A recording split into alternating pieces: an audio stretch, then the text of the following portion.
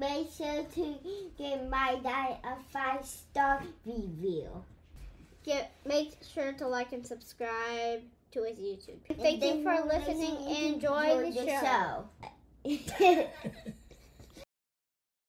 That is, a, a number of Republican voters complained that they wanted, not necessarily they wanted Trump off the ballot, but they wanted the decision to be made regarding whether or not he should be on the ballot. Welcome back, Faithful Politics listeners and watchers. Um, welcome back to Faithful Politics. Yeah, I am your political host, Will Wright. Had a bit of a brain fart there for a second. Um, I'm joined by your faithful host, Pastor Josh Bertram. How's it going, Josh? Doing well, Will. Thanks. Um, and today we're joined by Professor Henry, um, nickname Hank L. Chambers Jr. He's a distinguished legal scholar from the University of Richmond. Professor Chambers has a rich background in several key areas of law, including constitutional law, criminal law, employment discrimination, um, and he has expertise that spans across various uh, sectors of, of law to include voting, uh, white collar crimes, employment discriminations. And we wanted for him to come on the show to talk to us about um, the the whole Trump caper and 14th Amendment and Section 3 and all of those different sort of aspects of of Trump. Um, so we're super, super happy to have him on. So welcome to the show, Professor. Thank you. It's good to be with you.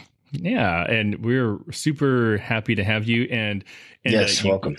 You came highly recommended by one of our veteran guests, Karina Lane, um, who we just love and adore in this program. So if you're listening, Karina, thank you for the recommendation.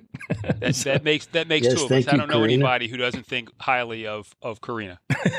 yeah, yeah, she's a pretty awesome person. So, um, all right, well, so let's just jump right into this. So, um, for for context and for those that may not be following the the news as closely, um, um, I'll kind of just give us. I'll just start us off, and then maybe you can kind of fill in some of the, the gaps. So, Sure. um, a week or two ago, Colorado Supreme Court um, came out with a an opinion that barred Trump from being on the ballot. Um, shortly thereafter, um, Maine, um, the their Secretary of State, I believe, um, um, came out with a, uh statement, um, basically utilizing sort of what, what Colorado did and and to bar Trump off that particular uh, state's ballot. So so yeah so like what's the deal with that so maybe maybe you can kind of give us a broad picture uh, professor of what all this means um, and then fill in some of the details of of stuff i may have forgotten Sure. Th- there are a couple of things you want to you want to think about.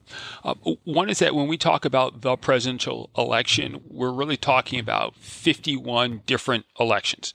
So each state and the District of Columbia have a presidential election.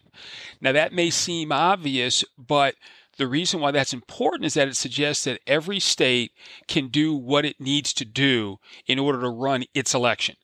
So we really have a bit of a decentralized process, and that's one of the reasons why different states can do different things. At the end of the day, each state decides on who their electors will be, and the lion's share of states say that whoever wins the election in the state is the person whose slate of electors will be selected, and therefore those electors are going to vote for that candidate when we get to the colloquially called the electoral college. So when we think that think of that as a background, that's that's sort of the important piece of the puzzle is state by state pieces of the piece of the puzzle. Now we ask a couple of additional questions. Who can run for president? Who can serve as president? We have limitations. We all recognize the 30, 35 year limitation. That is, you have to be 35 years old to serve. You have to be a natural born citizen to serve. You have to have lived in the United States, I think it was for 14 years in order to serve. So we have certain qualifications. We also have 14th Amendment, Section 3, which is a piece of the Constitution that folks have not thought about a whole lot, uh, but it's something that is worthwhile to think about. The 14th Amendment itself was part of the Reconstruction Amendments that were uh, ratified after the Civil War, and the notion is that those amendments, the 13th, 14th, and 15th, were meant to literally reconstruct the Union. So now ask yourself what you need to do in order to reconstruct the Union after a civil war. You may want to think about who can vote. You may want to think about who can serve. You may want to think about who can't serve. Who can't you trust? Right. And that's really what's, what Section 3 of the 14th Amendment was about. It was about saying, look, if you have taken an oath to support the Constitution, and then you've engaged in behavior that fundamentally violates that oath, then we're not going to let you come back into the government and claim to be willing to serve the government which you tried to overthrow. That's the basic notion behind the 14th Amendment, and it's not necessarily crazy to think of it in that in that manner. Um, so so that that's the I'll give that as the as the background, and I'll I'll stop there for for a second. I, I may throw a little bit of religion in because uh, I've actually written a little bit about Reconstruction amendments and and how there are some parallels between the Reconstruction amendments and some other stuff. But I'll stop there for for now and see if if there's anything that's that's been unclear or, or where we want to go.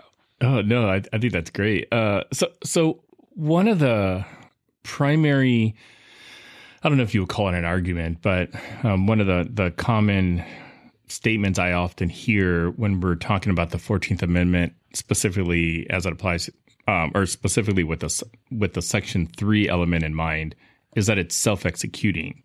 So, like, what like what does that what does that mean? Um, why is that important? Um, and, and what do you think that the yeah. writers you know sort of intended when, when they wrote that?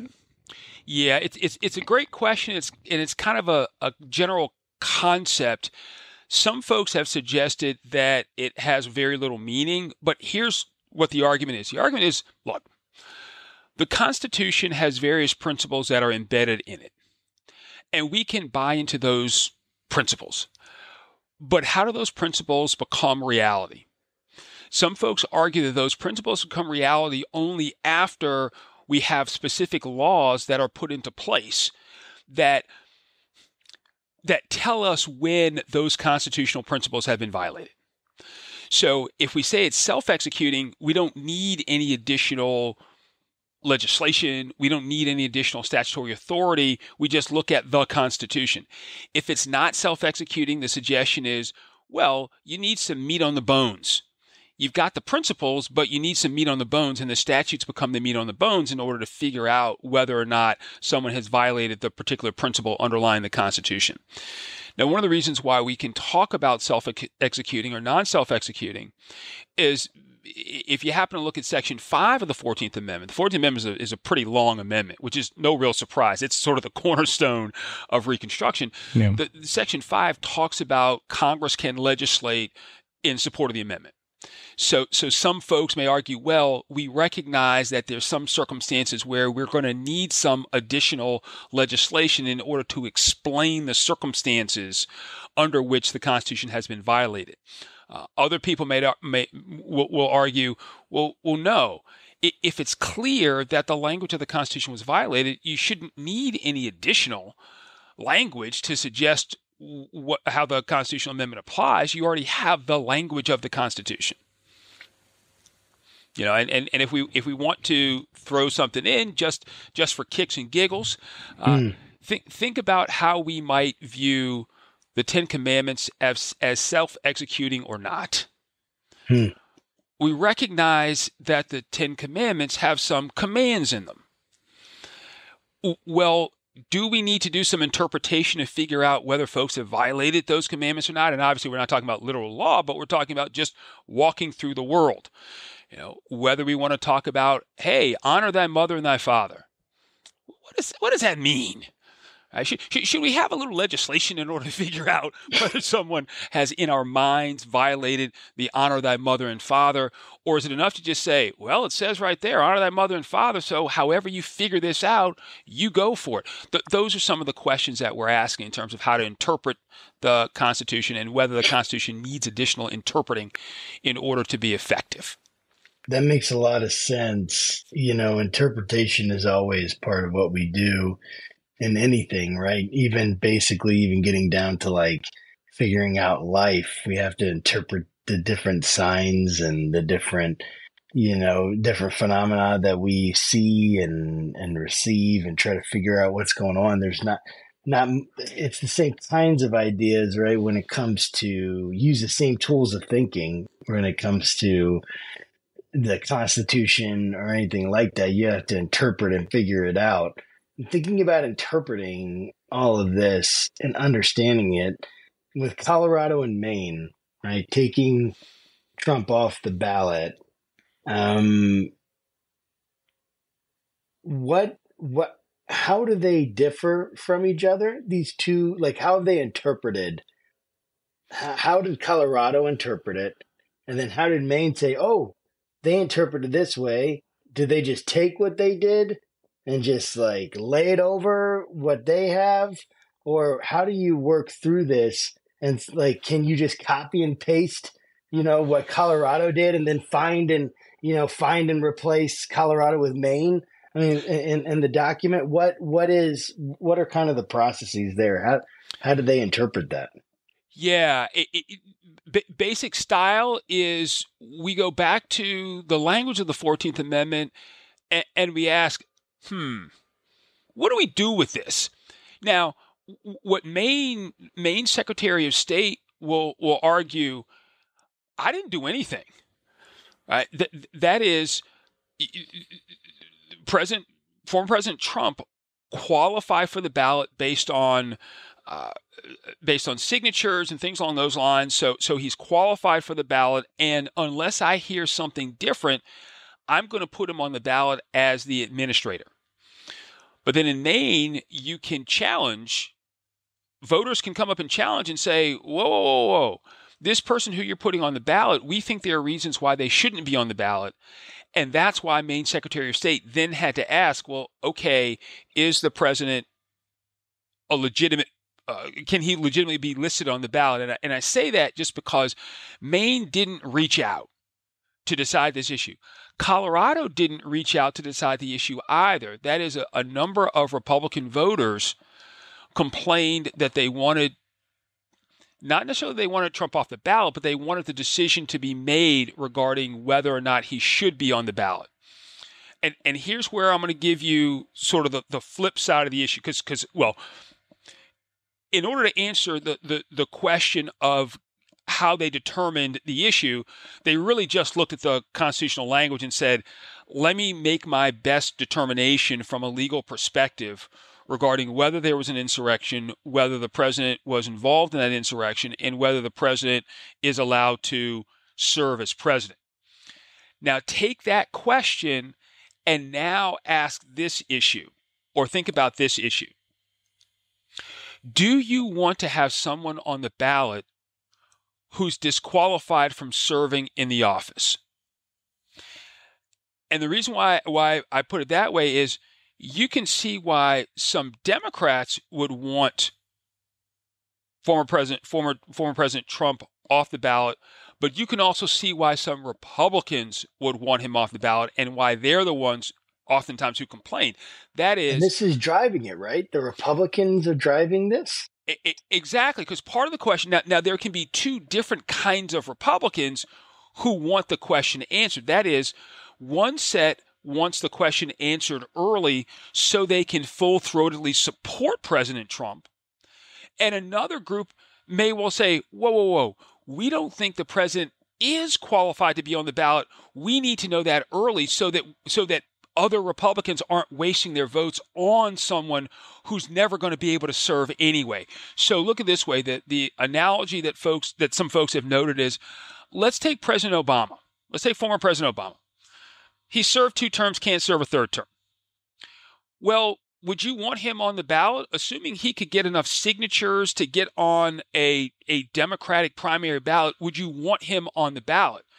Well, there are a whole bunch of people who would say, no, no, because there's still people who will vote for President Obama. You don't want him on the ballot because he can't serve. So why would you want him on the ballot? Well, with President Trump, you at least want to figure out the answer before you go down the path of, hey, can the president, can the former president be our primary victor? Can he be the Republican Party's nomination? It's like, no, no, no, no. Let's figure that out now as opposed to later. So you can see why a number of Republicans would say, hey, I don't want him on the primary ballot because if he wins, now we've got to worry about someone who may not may not qualify, who, who may not be able to serve. Um, so in, in some ways, this is sort of a pressure release valve to figure this issue out. Now, certainly it doesn't necessarily feel that way because it feels like there's a lot more pressure out there. And certainly there's some pe- people who are arguing you don't have to decide the issue because it's possible that President Trump won't win the Republican nomination. It's possible that President Trump wouldn't win in the general even if he were the Republican candidate. That's fine. But there are a lot of folks who are saying, no, no, no, no, no. We need to figure this out now because you talk about crazy. Crazy is President Trump gets the nomination, and we still have now a bunch of questions in different states where they've got to figure out should we put him on the general election ballot as the Republican nominee? And Republicans who don't think that President Trump is qualified will absolutely go berserk in terms of saying, great, now you've got someone who's on the ballot who can't qualify, who can't serve completely throwing votes away. This is a problem. So it's it's a messy situation, but it's a question that probably ought to be ought to be resolved.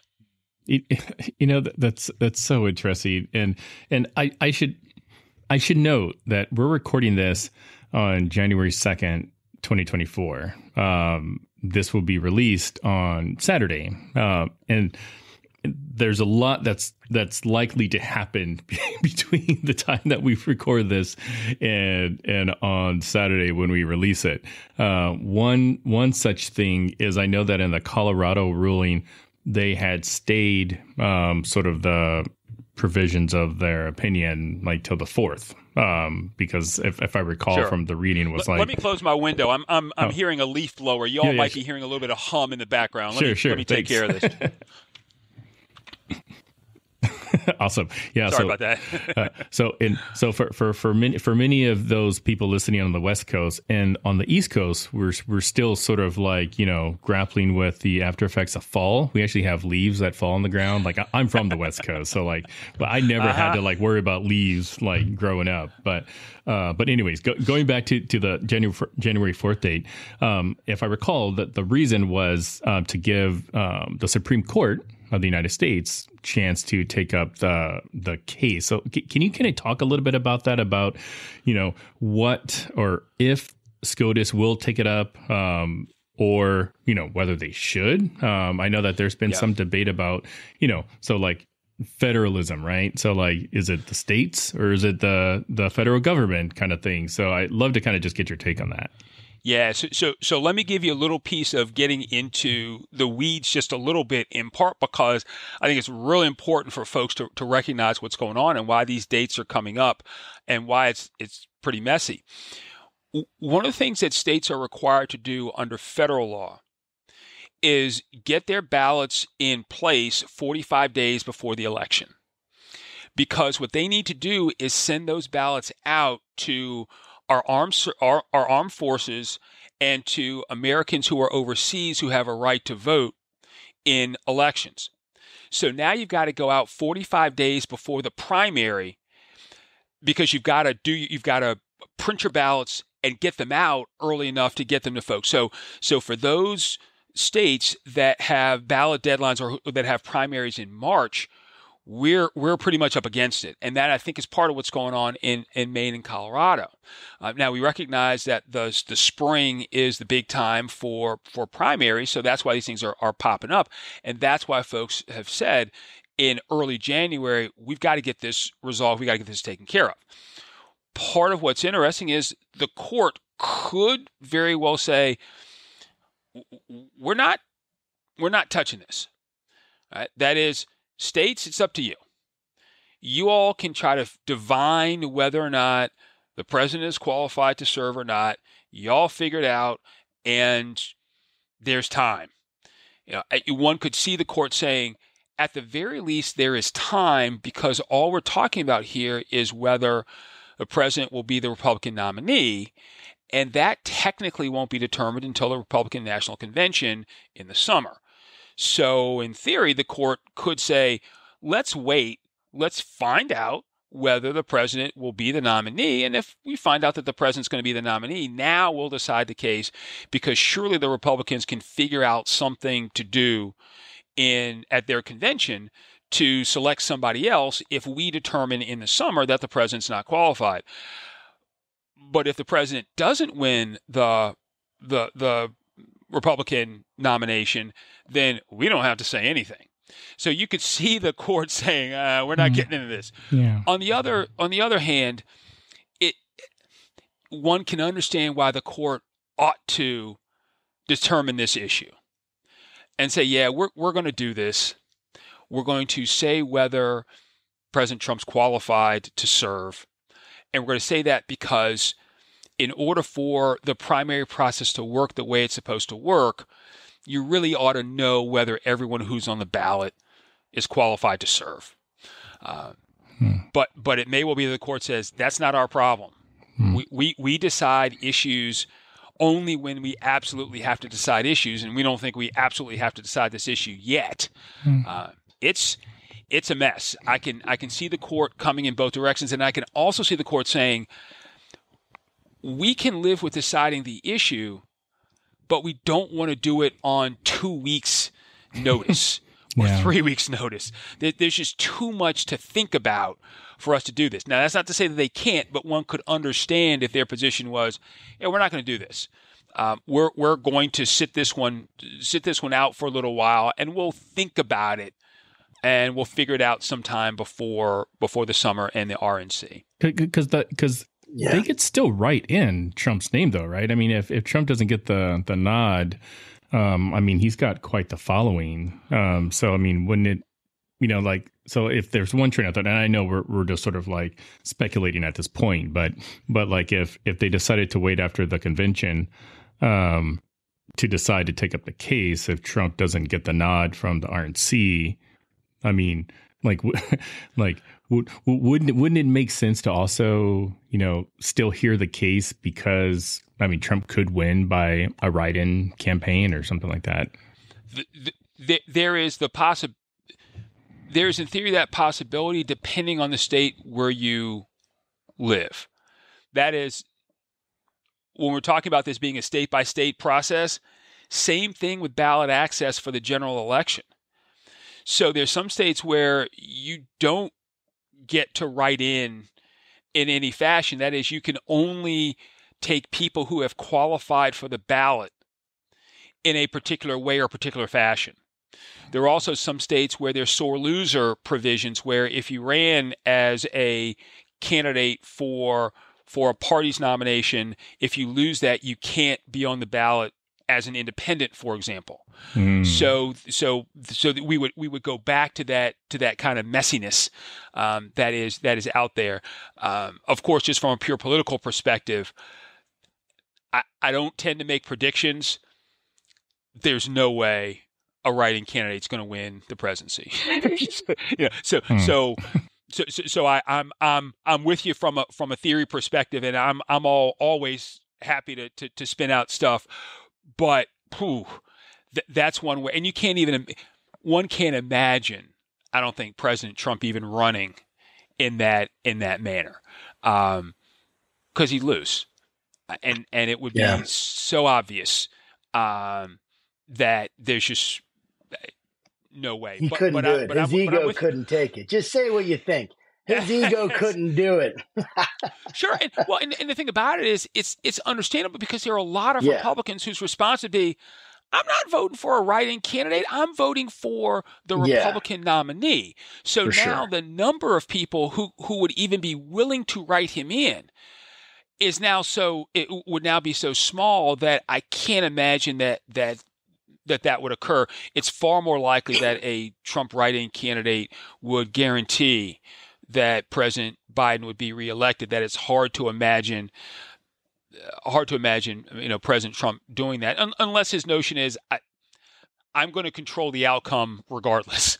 Maybe, um, but it's that's that that's a tough one. But but it could be it could be a fun episode of of of some of a podcast, right? yes, it definitely could be, dude. We got to come back and we just got to imagine all this, and then we can get it written down by Chat GPT and give it someone to create like a series, and we're going to be the new top series and we can all have our names attached to it. You know, I, I love wanna, it. I, I, I, yes, it actually is not a bad idea. So, um, I want to talk a little bit more about these actual, like, like the reasonings that Colorado and or Maine gave. Like, for instance, so we have some. We've kind of gone through. Um, I say we. My my partner uh, Will has gone through the uh, the writings and has, gotten questions and and he's gotten sure. the the pages and on page 8 the court found by clear and convincing evidence that President Trump engaged in insurrection. So what was that evidence and are you convinced by it? Do you feel like they made a good case in that in that yeah specific yeah. instance he, here here's here's the thing let me let me let me put out the structure and and suggest what kind of the messiness is there's no question that in the in the wake of the 14th amendment or i should say in the wake of the civil war that folks recognize that the confederacy engaged in rebellion or insurrection or both so part of the question is what qualifies as rebellion or insurrection under the 14th Amendment when we're no longer talking about the Civil War? That is, yeah, we recognize we wanted to stop Confederates from serving in the government uh, unless there was a good reason to allow them and, and Congress could remove that disability under the 14th Amendment, Section 3. Now the question is well, what qualifies as an insurrection? Now, I, I, I will I will say that in the wake of January 6th, one of the things that I that I caution folks to think about or caution folks on saying was calling it an insurrection.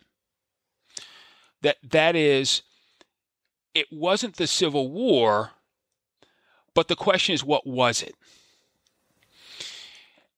and part of so part of what's going on is the courts the court has to come to the conclusion that what happened January 6th, some of the things that happened surrounding January 6th qualify as an insurrection. Now, I don't have a problem with folks making the argument that it should be an insurrection. I don't have a problem with folks coming to the conclusion that it should be a, that should be deemed an insurrection. Uh, but it, it struck me that we needed to take a little bit of time. Well, now we've taken that time and we've seen what was going on. And we've seen a lot of the evidence surrounding it, and it, it's it is hard to say that it that it was just a protest, right? Because that's that's really been the the question is was it a protest that went too far, or should it qualify as an insurrection? That is, should it qualify as an attempt to overthrow the government?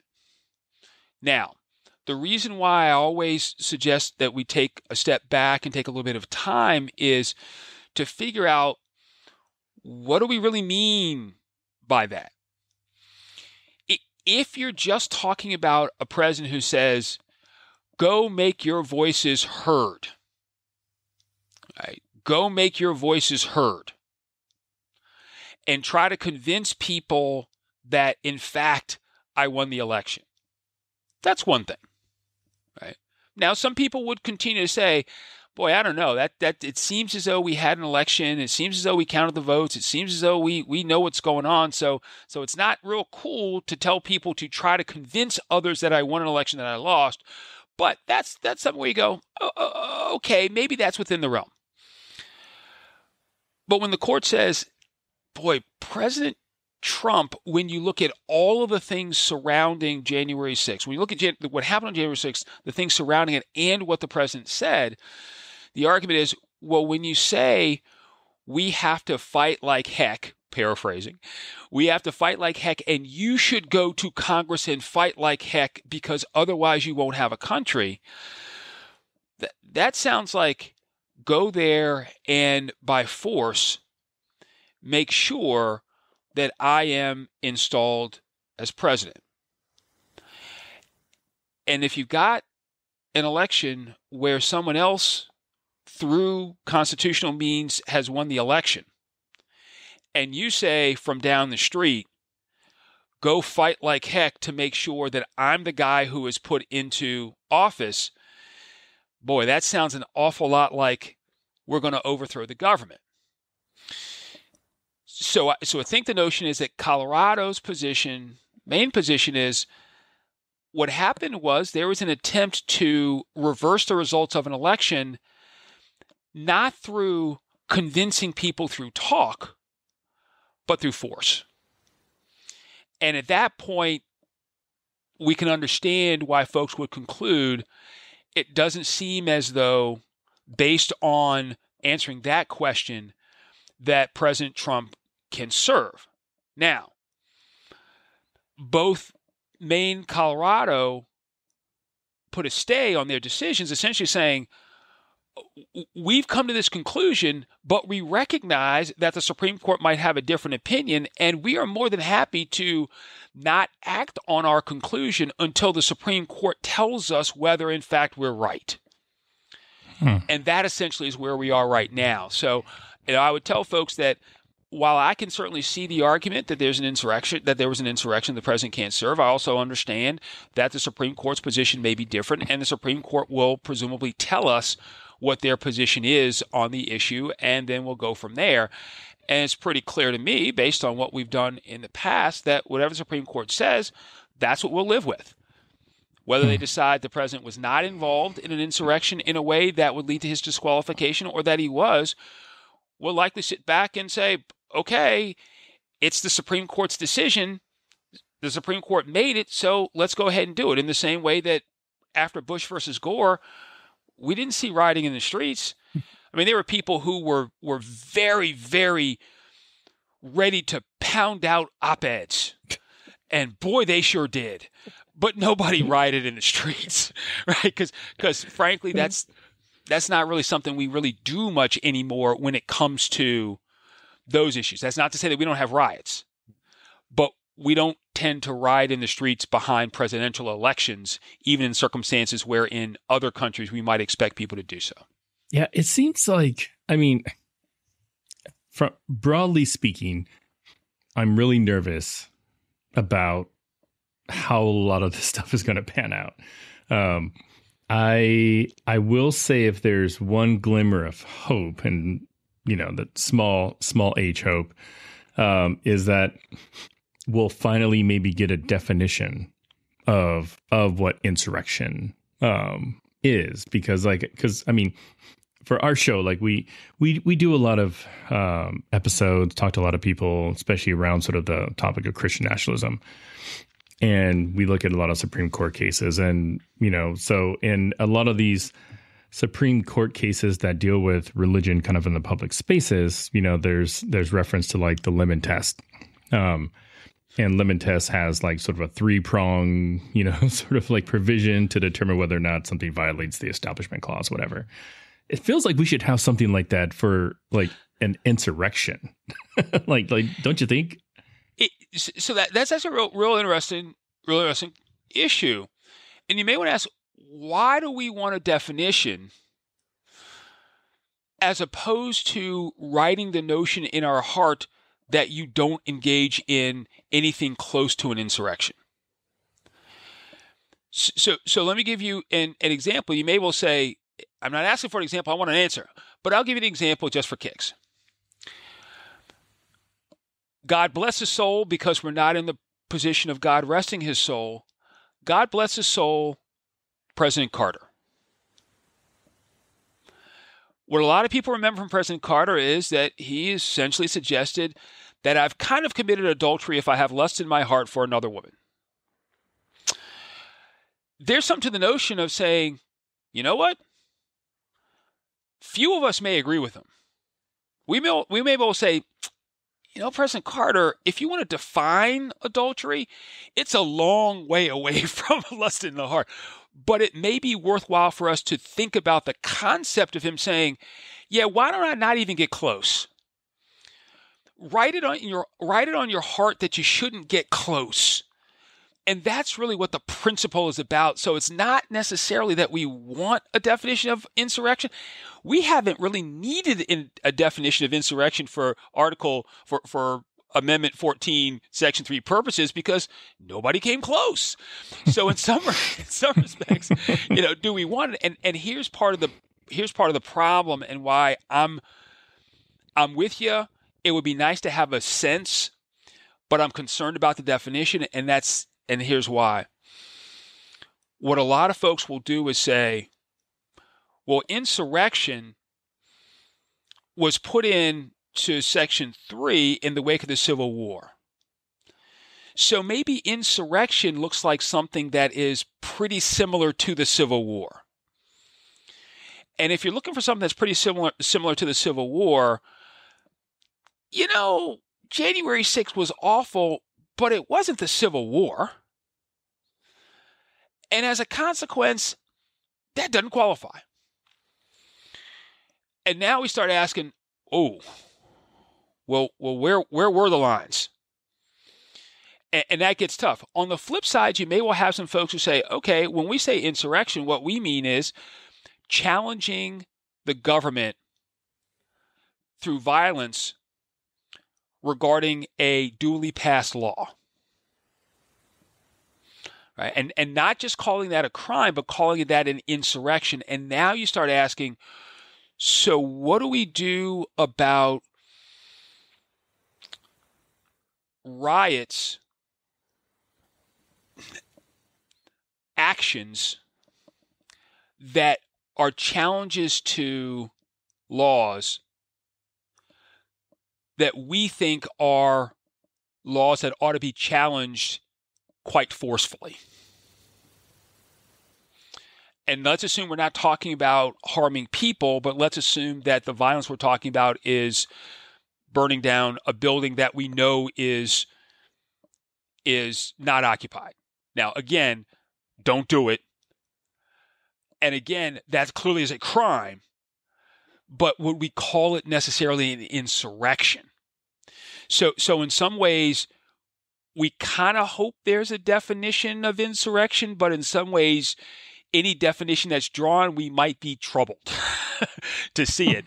And you know, I I think we can say the same thing, right, regarding adultery. I th- I I think a lot of folks would say, well, let's define adultery. Well, is it is how how do we do this? Should should we go Jimmy Carter style? Should we take a step back and, and maybe ask uh, former Vice President Pence, right, who who famously won't meet with, at least historically, would not meet with women alone.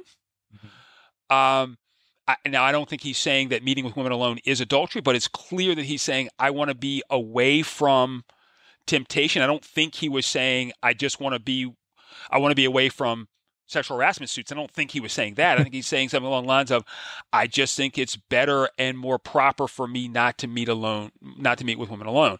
Uh, there are a lot of us who would say, hmm, that's a little much, don't you think? Uh, yeah, yeah. But, but, but, do we? Yeah, but but do we want to define adultery? Do we want to just say, okay, for everybody, stay as far away from the line as you think is appropriate? Um, mm. It's it's it's a. I think it's a really interesting and fascinating question. Yeah, yeah. And so so going back to the report, um, there was a mention about a a ruling from Justice Gorsuch, um, and I'm curious. I mean, just you know, take it from a non legal like person. Um, is that is that trolling or is that sort of like or, or is the the ruling they mention actually applicable to the case that they were presenting yeah I, I think that their their mention was for the bigger issue the broader issue of whether courts should keep some people off of ballots because one of the arguments that has been made is well let the people decide based on whoever is on the ballot let the people decide what they want and I think the court's position was, well, well, hold on a second. Justice Gorsuch, when Justice Gorsuch was Judge Gorsuch, Gorsuch noted you can keep people off of ballots if they haven't done what they need to do in order to qualify or to be qualified for office. So, so the uh, so the general idea of let people vote for who they want to vote for may be a general thing, but even Justice Gorsuch has realized that there are times when it makes sense to keep people off the ballot. And, and like I say, going back to, to part of our earlier conversation, yeah, it makes perfect sense to keep people off the ballot if they can't serve because all they're doing is confusing the situation. They're not getting people's real evaluations of who they want in office. That is, who they want in office who can who can serve. Uh, so I think that that was was their notion is is that they just wanted to note that it's not a crazy thing to remove someone from a ballot when they are disqualified from the ballot and can't serve. So I don't I don't think they were I don't think they were trolling just to troll. I think they were saying, "Hey, we all recognize that there are times when you just don't put people on the ballot, even people who might win elections, you don't put them on the ballot." Hmm. Mm, that makes sense. You know, it's uh this is all so complicated and it's all so messy. You know, I'm I'm imagining the um I'm I'm imagining like the difference between like our country and all the institutions that we have and the way that we've worked in it and then what people from another like like uh, someone from like China.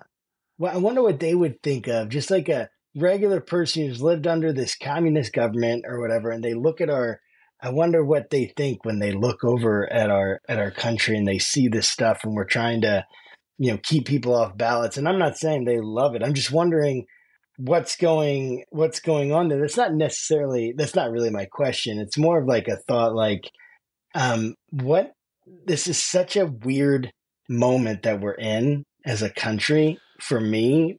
I feel very weird about this um, just I don't know. Weird is the only way. It's the best word I can use because I don't want to say afraid. I don't want to say freaked out. I don't want to say I'm about to like get tickets to another country and go live there. I don't want to say any of that stuff because I love this country. But it is a very um, tense moment, very tense. And we have all this talk about the Civil War and how this isn't the Civil War and it wasn't like the Civil War and yet, of course, we don't want to go through an entire civil war to say, oh, that's insurrection, right? Like kind of what your point. We want to nip this, we want to nip this in the bud. So, in that kind of idea, on page 38, right, in this in this report, just thinking about it, it says nor are we persuaded by President Trump's assertion that Section 3 does not bar him from running for being elected to office because Section 3 bars individuals only from holding office. So, what was, if I understand that, what was Trump getting at there? What's the difference between running and holding office? Holding office. Yeah. What? Yeah, I, th- I, I think it, I think his point was, look, I can run w- whether I can serve or not. I mean, that's So- so bad, right? I mean, that's like that's like such like a like a really like like why would someone say that that they can still run even if they can't serve?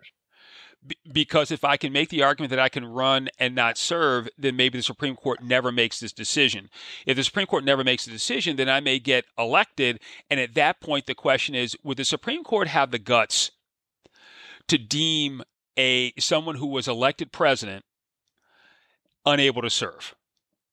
I mean, if, if we think that there's pressure right now, imagine a situation where the Supreme Court says, let's wait on this. One, let's wait on this to see whether President Trump wins the Republican nomination. And then after President Trump gets the, the Republican nomination, let's wait to see if he wins because, hey, if he doesn't win, then we don't have to Oh, decide this it- issue. Oh, it would be far worse. Right. And Far so- far so- worse. So you can understand why President Trump would say, let's not decide this right now. Oh yeah. just just let me just let me run. We'll see what happens. And at the end of the day, what are you going to do? Now imagine January 6th on steroids I know. at the US Supreme Court as the US Supreme Court decides the issue. And I'm not suggesting that the, that the U.S. Supreme Court would, would back away from it or, or would shy away from the decision, but one could imagine the Supreme Court saying, by the by the time they got to that point, well, you know, it's it was a con it's a conceptual thing and because it's conceptual and the people actually decided that they wanted the president to serve again, that we're just going to punt on this one. They could decide that it's not self-executing right so so you can so you can imagine if president trump is worried that in fact he might be knocked off the ballot then he's going to make whatever argument is sensible to just say don't decide the issue yet. And, and i think that's his his position is i should be able to run even if i can't necessarily serve. And he would certainly say i should be able to serve. I didn't engage in insurrection, but at the very least, regardless I should be able to run. Because I'm 35, natural born citizen, lived here for 14 years. On those scores, where it's clear that I should be able to run, I, and I haven't been elected twice, I should be able to serve. And having and, and since I'm I'm able to serve, I should be allowed to run, uh, and the people should decide. That that I think is what his argument was, and that and that's part of the fight, really, right? Part of the fight is should I be allowed to run regardless of whether I can serve? Should you necessarily kick people off the ballot who are unqualified, or should you just let the, the voters figure it out on their own? Because there may be a number of voters who say, well, I'm not going to elect anybody who was anywhere near an insurrection. That is, regardless of whether there was an insurrection or not, I'm not going to vote for them because they were near an insurrection. Okay, fine. If that works, then President Trump doesn't get the nomination, and we don't have to worry about this. Um, so I think that's I think that's what he was saying. And and I want to be fair. I don't think the argument that he's making is uh, is a, a crazy argument from a legal perspective. Right? That that is, I understand him to say that in his mind, at the very least, one might argue that the insurrection point is a close question. Therefore, let me run and figure it out later.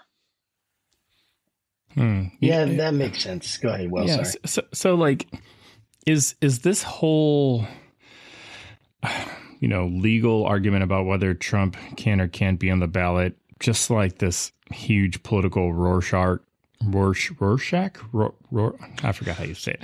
You know what I'm talking about, the ink blot, right? Sure. Sure. like, is it is it sure. just one one big test? Because it, it would seem to me that if you know, if if the if the argument is clear that he committed an insurrection and section three says, yeah, you know, you can't you can't run, you can't be on the ballot, then all fifty, you know, some uh states would would be like, oh, okay, well, we'll just take them off the ballot. Uh, but you know, right now it's you've got Colorado and you've got Maine, you know, two blue states that Trump probably wouldn't win anyways. Um, and and it seems like like at this stage, it seems like it's very political, um, and uh, it really kind of just shows where people kind of stand politically. You know, if you support it, great. You know, you are blue. If you don't support it, you're red.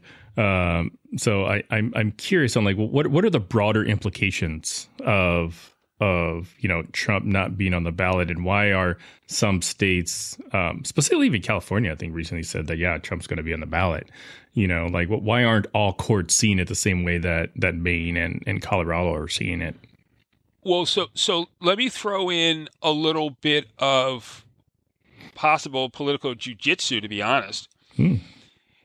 If I were, I mean, if California were in play, then arguably Democrats would want Trump on the ballot. Because you get to hammer on President Trump's closeness to an insurrection without the court saying that it was an insurrection. The other piece of the puzzle is if you believe what the what some of the polls say, why would Democrats not want President Trump on the ballot? The suggestion is that's the only Republican President Biden can beat. So, so in, in many respects, it's not clear to me at all that that Democrats. I mean, I mean, yes, Democrats, some Democrats, many Democrats are fearful of a Trump victory. But uh, for those Democrats who, like I say, who believe that President Biden can only beat President Trump, and some people would, in fact, put possibly President Biden in that category as well, in terms of who would you rather run against? Trump. it's it's not clear to me that you want President Trump off of the primary ballot. Uh, it's not even clear that you want this discussion happening before the primary. Right now, all of this discussion, absolutely, people may well want to have after the Republican National Convention if you're a Democrat. Right? And like I say, this is one of the reasons why it doesn't surprise me that there are a number of Republicans who are making the argument because I think for Republic for many Republicans, particularly non MAGA Republicans, their take is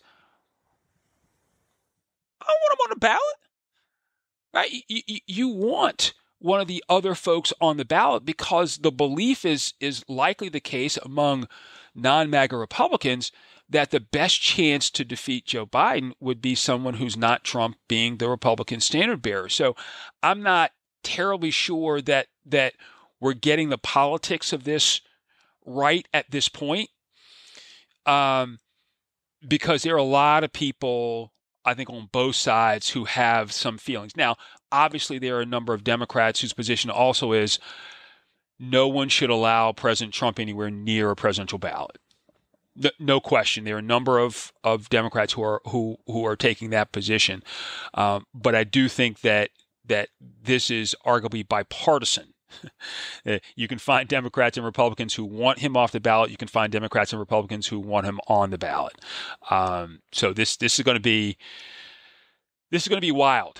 Uh, what, what, I what yeah. I will say, and and what what troubles me a bit, and and some people might say come on, man, this is the way it's always been.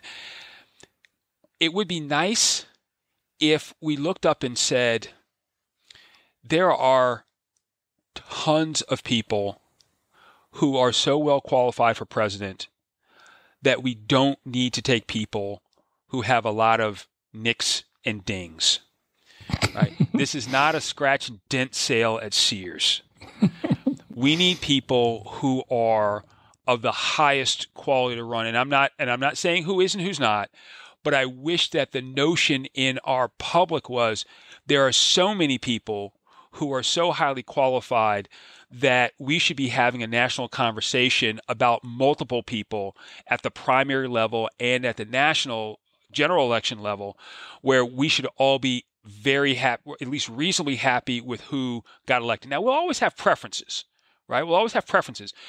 But I think it's fair to say that the idea from people on sides that this person is truly unacceptable as president or that person is truly unacceptable and they're the candidates running, I don't get the sense that that's always been the case, even in my lifetime.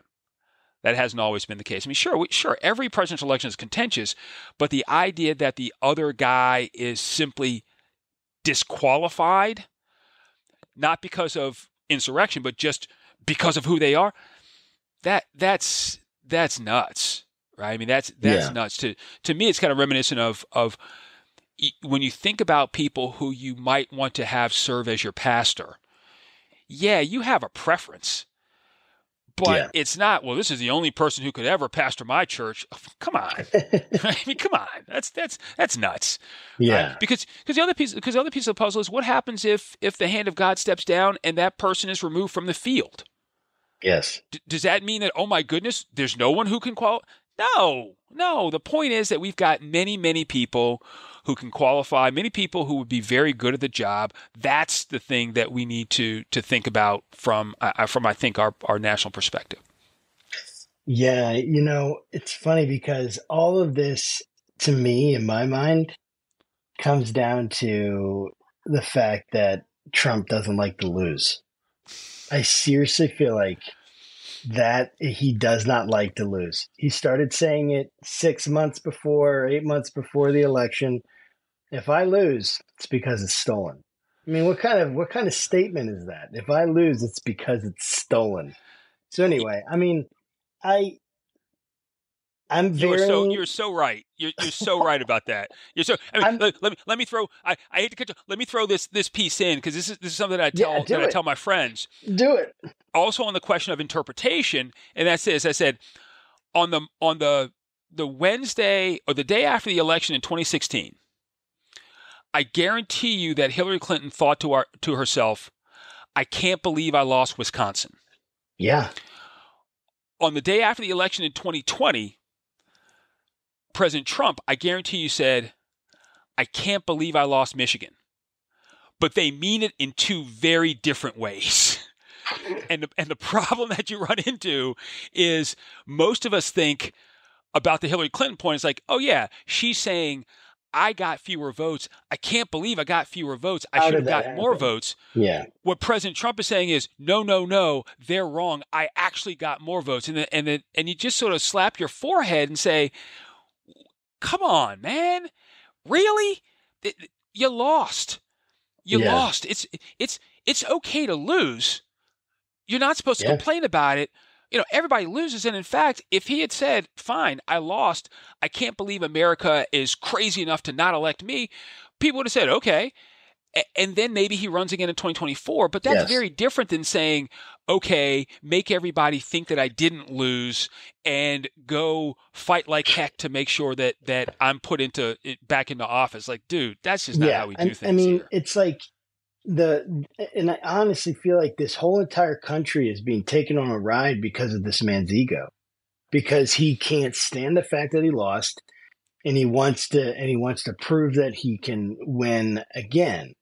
And I mean, I, I don't, I, it's just it, it, it's really difficult for me because when you're talking about like I, I feel like a political orphan. I've said this several times on this uh, on this podcast because I'm not a MAGA Republican. I feel like in many ways I'm a Republican for sure. I'm very conservative. I look at the I've read both of the Democratic um, platform and Republican platform in the past and very much found myself on the Republican side, right? For whatever reason.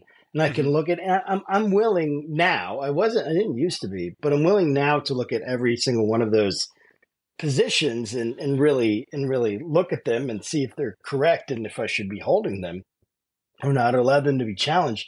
But I feel like I'm I, I just feel like a political orphan. I, I don't have they this MAGA republicanism and I think that there's a lot of people in the Republican Party that's like, I really just why can't he just go? Why can't he just go? Because it's Yeah, tearing the yeah. Republican Party apart. And he's and and it's and it's damaging the Republican Party's ability, I think, to really compete in the future. Um, because of where our our country is headed and I think the progressive nature of where our country is headed, it's going to be very difficult now, I think, to even get a rallying cry around anything with the Republican Party because it's so divided. Um, there, Yeah. there.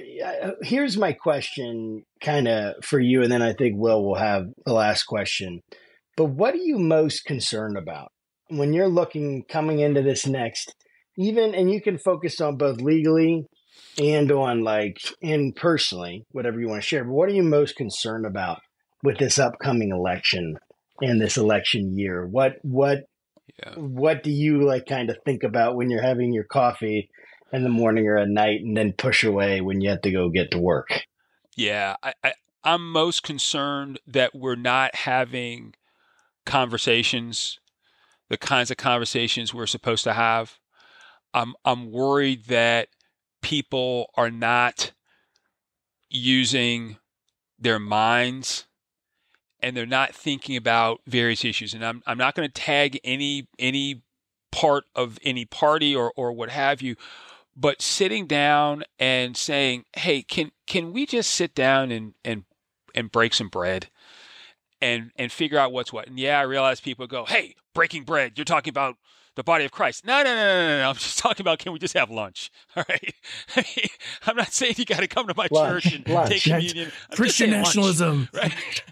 and, like- and, and, and because it it seems to me that even in my lifetime, and I realize that for, that for for youngsters out there, they're going to look up and go, "Dude, you're old." It's like, okay, I'm not that old, But in my lifetime, there's a time when we would say, we agree on 80, 90% of stuff, and we can fight about the 10%.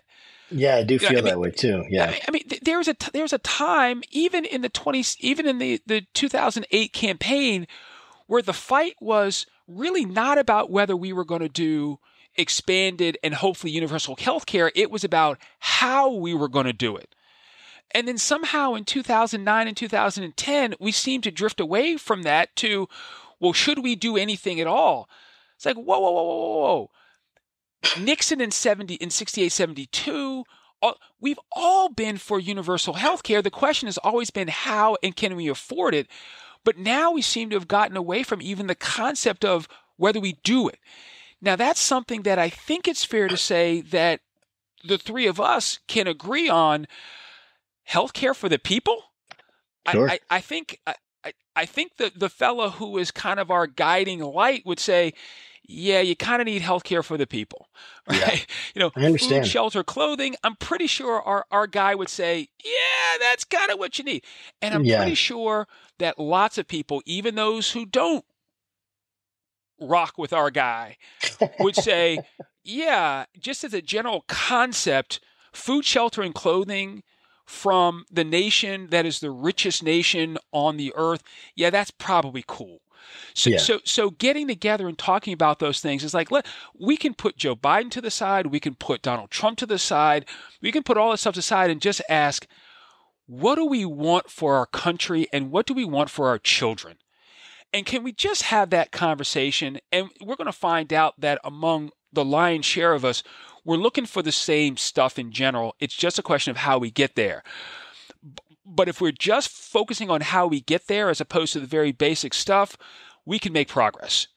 Right? We can really make we can really make some progress. And and that's that's one of those things that it's it's a it's an interesting, messy thing, uh, but we've seen it in the church, right? I mean, you know, I prayer big, big prayers for the for the Methodists as they seem to break apart. Um, maybe they need to, but you, you, you hate to see it. But there are lots of churches where you have these discussions, and sometimes you break apart, and sometimes you come together, but you move forward and you try to move forward in the best way you possibly can. That's that's what bothers me is that I'm not sure that these conversations can be had among lots of people. Uh, and and I I just wish we could have these discussions, grab some lunch, maybe breakfast, maybe dinner, whatever folks want to do, and just talk through issues and find as much common ground as we can before we then say, all right, we're out of common ground. Now let's get to the politics of it. That's uh that's awesome. And um Josh is right. I did have a question, but I don't want to like poison your your very profound statement that you just had Go by for it. See what happens. Yeah, we'll, Okay. we'll call it a vaccine or an antidote, right? We start we start we start vaccines with the poison. So let's go ahead and do this, right? okay. Well, my so my last my last question was was revolving around uh, Lawfare has a uh, great Trump disqualification tracker. Uh, they uh, on it they've uh, they've got like nine potential states that are that are sort of like have pending legislation or pending court cases. Um, I I'd be interested to hear your thoughts about like what do you think um, is next? Um, not necessarily Supreme Court related, uh, but you know what what can we expect from maybe some of these other court cases uh, with uh, you know Trump being on the ballot or not? Yeah, there's some things that are are going to be kind of wild. One, it depends on what the laws in the state are. So, so some of the states almost certainly will have a a specific either law or what have you that says don't put people who are disqualified on any ballot. Some states may have rules that say don't put anybody who's disqualified on the general ballot. So that's a time. So that'll be a timeline question. There are also going to be some some states that have later primaries. So they may have a little more time to figure out what to do, and it may be that things sort of overtake them. That is, if enough states decide that they want to disqualify the president such that the Supreme Court is now really required to act, that may take care of it. That is, as soon as the Supreme Court says, no, President Trump is qualified to to be president, all the other litigation goes to the side. So it may well be that the the calendar may decide things relatively quickly. By the same token, some of the early primaries may decide things. Now, the thing about Colorado, right? Remember, Colorado's position is we're staying our decision. So, in other words, President Trump stays on the ballot until the Supreme Court says something. Well, if the Supreme Court says we're not saying anything, or if the Supreme Court literally says nothing, just just just says, you know what, we're on vacation for a couple more weeks, then it may well be that this gets taken care of because the ballots have to go out. So if the ballots go out for the first couple, first several primaries, and the notion is, well, functionally speaking, the president's on those ballots, and if the and if the president ends up winning those primaries, it may be that the calendar takes care of at least the first piece of this, and then we settle into the all right, what will the court do if the president wins the nomination? Um, and, and the, but but the questions get arguably get different there because now we're talking about well, what do you do with a candidate who's won the nomination as opposed to just a candidate for the nomination? And buckle buckle up right? Buckle up. But but part of the buckling up should also be a national discussion regarding what's January 6th about.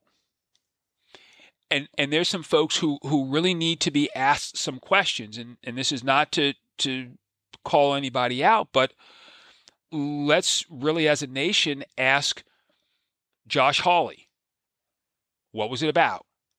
Let's ask Mike, uh, Speaker of the House Mike Johnson, what was it about?